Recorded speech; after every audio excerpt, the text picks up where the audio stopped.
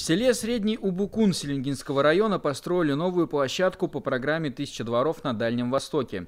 На нее выделили около 2 миллионов рублей. В эту сумму включили все для детей всех возрастов, а также установили зону отдыха. До этого а, здесь была очень площадка небольшая, а, можно сказать, построенная своими силами, собственными средствами, потому что оборудование было не сертифицировано, а здесь требования у Минстроя, чтобы было именно безопасное, качественное оборудование для детей со всеми соответствующими сертификатами безопасности. Сегодня ребята всего села могут активно проводить свое время и играть на такой площадке.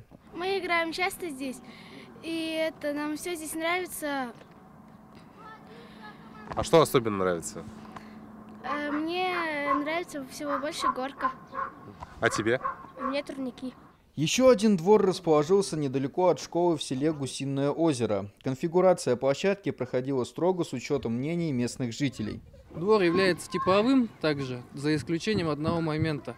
По желанию жителей села и главы на, в данном дворе установлена горка зимняя.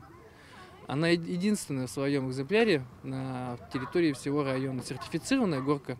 На всей территории есть все. Качели, карусели, горки, зоны для воркаута и отдыха. Двор нравится, тут интересно играть. Мы обычно тут приходим также здесь установили крытое место для отдыха и фонаря. Также еще одна площадка появилась в Закаменске. Она обошлась администрации района около 2 миллионов рублей. Реализация данного проекта позволила нам э, создать новые места для отдыха развития, позволила улучшить э, и обновить инфраструктуру городского и сельских поселений. Программа «Тысяча дворов» на Дальнем Востоке постепенно близится к своему завершению. На все благоустройство в республике было выделено 849 миллионов рублей. Андрей Слепнев, Базар Ушеев, Бато Гармын. Новости дня.